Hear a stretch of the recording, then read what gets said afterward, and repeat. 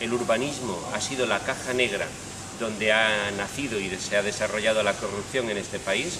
En fin, eh, no quiero recordar casos recientes, casos de, estos últimos días, pero tanto el urbanismo como la adjudicación de contratas públicas han generado un modelo corrupto que ha eh, puesto en cuestión las instituciones.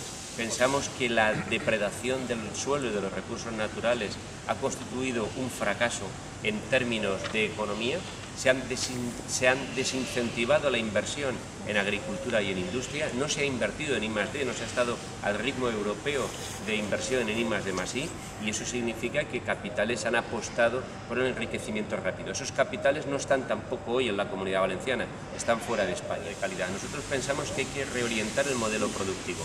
La eficiencia energética y la rehabilitación son dos campos en los que se puede generar empleo de calidad, empleo cualificado y empleo sostenido en el medio y largo plazo. Que las fuerzas emergentes sean capaces de articular un discurso por encima de esas eh, barreras que, ideológicas que a veces parecen, o de marcas de partido, que a veces parecen convertirse en un obstáculo, yo creo que demuestran que hay eh, puede haber otras opciones.